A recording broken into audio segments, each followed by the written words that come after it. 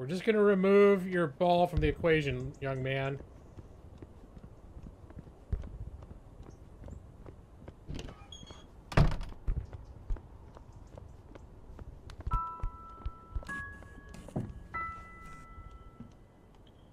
Don't you mind what I don't you mind what I'm doing.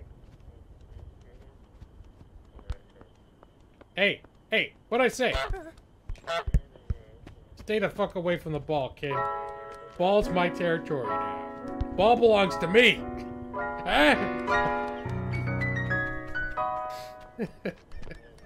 I don't think I'm making any progress.